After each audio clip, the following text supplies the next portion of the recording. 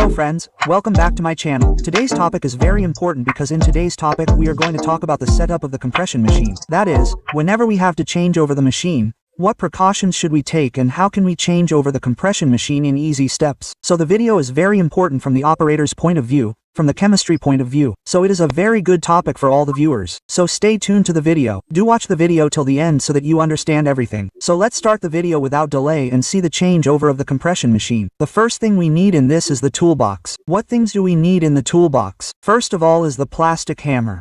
After this, the cleaning brush which we have to clean is the lube brush. After this, whatever punch set we have to install, the die punch should be clean and inspected. After this, the die insertion ring as you can see. After this there is die seat cleaner. There should be die seat cleaner.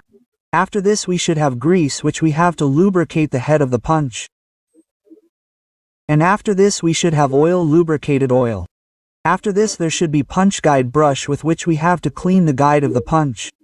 After this die driving rod with which we have to set the die. After this let's see the lock of the die. As you can see this is the lock of the die. After this there should be die lock hacksaw and along with it we should have adjustable screw with which we have to set it. And after this there is die lock T-handle wrench. And after this what is there is screwdriver set. So all these things should be available with you so that we have to set up the machine and these will help us in changing over the machine. So let's see this as our compression machine. We have removed the old punch or we can say that it is a new machine, we have to set up it and I am going to tell you one by one how to set up it. So see first of all we are looking at the compression machine. From here, we have to remove the center part with the help of a screwdriver. So remember that we have to remove it very carefully. So, the two screws that you can see, I have loosened both the screws. After loosening, I will remove it. One more thing to be taken care of from the safety point of view is that you should be wearing proper gowning. Along with this, you also have to wear gloves. So, I have removed the center cam. After removing the center cam, now see what I am doing. I will rotate from the bottom and set it on the number 1 punch. So, wherever there is a number 1, we will start from number 1 so that we can also put it serially. So, the punch will pick up number 1. One number punch has to be put on the number 1 set. You do not have to do this that you have to move the punches here and there. So, you have to set it. After this, you have to take a punch guide brush. And with the punch guide brush, all the punch holes have to be cleaned properly. Remember that you have to clean the upper side, bottom side and the hole of the die properly with the help of punch guide brush. So see, I am showing you how you have to clean it. I have done the upper side and I will also show you how to do it from the bottom. So see, put this in the punch and you can clean the hole of the die directly above it properly.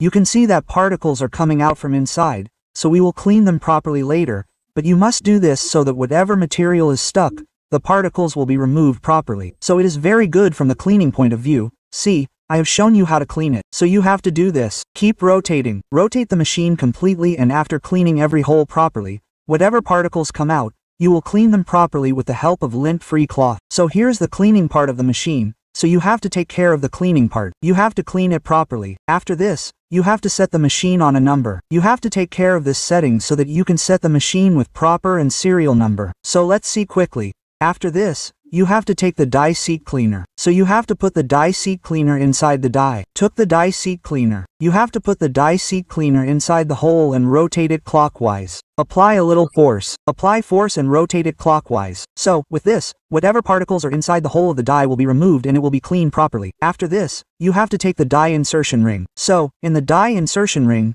you have to remember that you have to place the die properly. After setting the die once, See how I have shown you. It has to be set here. It has been set in this way. After setting, you have to put a punch and check its alignment whether the alignment of the die is proper or not. Once you have set the punch, then check if there is any clicking sound or not. Or if there is any sound of the punch hitting it. You can also check if the punch is hitting it by turning the punch a little clockwise. After this, you have to take the die driving rod, you have to press the die at the place where you had set the die with the die driving rod.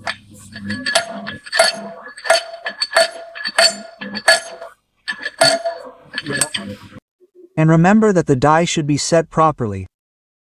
After this, we will insert the punch once more and see if there is any abnormal sound or if there is any clicking sound. If there is sound, it means that the alignment of your die is not correct. If you have set the die properly, then there should be no sound. Okay, So we have to check this. Now see, it is set. What to do after setting it? Now we have to apply the punch.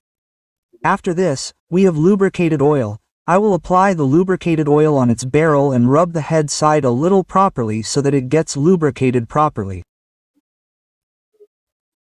After lubricating, I have to apply whatever grease I have and that too on its head.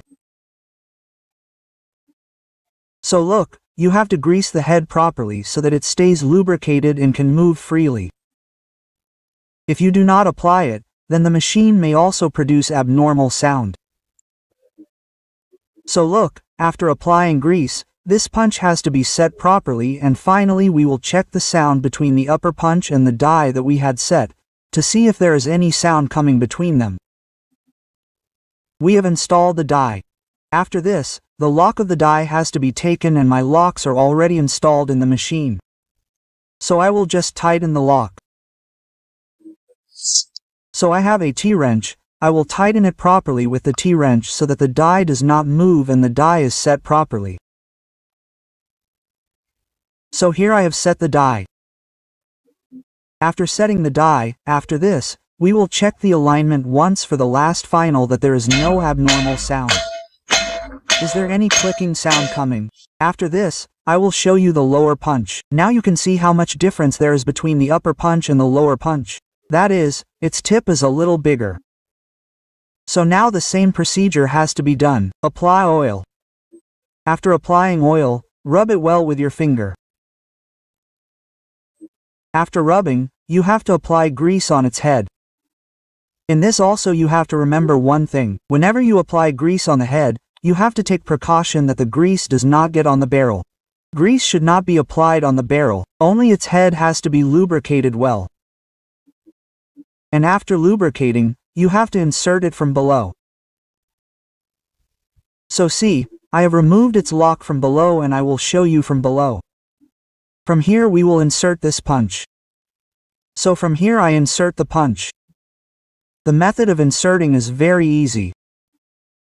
You have to check the same alignment. And see, from here I insert this punch and this lower punch will go. And take it out till the top and see if any sound is coming. We have to check properly whether its alignment with the die is proper or not. And I have checked it here. After checking, we will take it a little forward and lock it. Now see, this is proper alignment. It means we will set it here and by rotating the machine a little, take it forward and tighten its lock. So see, with the help of screwdriver, I lock it. The lock of the lower punch.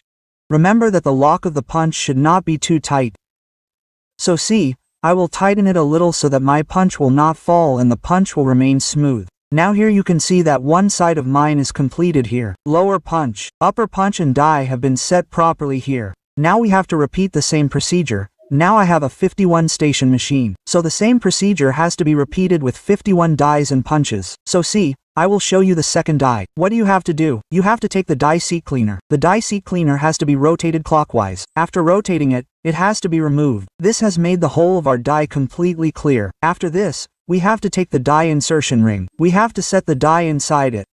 After setting, the die has to be placed properly and its alignment has to be checked by inserting the upper punch. After this, I will insert the upper punch in it. After inserting the upper punch, its alignment has to be checked properly whether it is in proper alignment or not. Is there any clicking sound coming? After this, when our die is completely set properly, after setting, we have to press it properly with your die driving rod.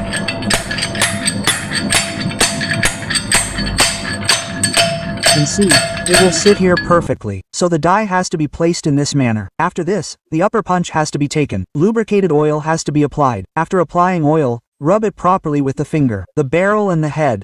After rubbing, the same procedure has to be followed, as we had applied grease. The head has to be greased properly and lubricated properly so that it does not give any abnormal sound and moves freely. So I am applying this brush grease on its head. You have to remember that the grease does not touch its barrel. It should not come on the barrel. You just have to cover its head and after applying it properly, you have to put this punch in the die. Now see, when you insert the punch, after inserting it, you have to remember to check the alignment once to see if there is any clicking sound by rotating the clockwise.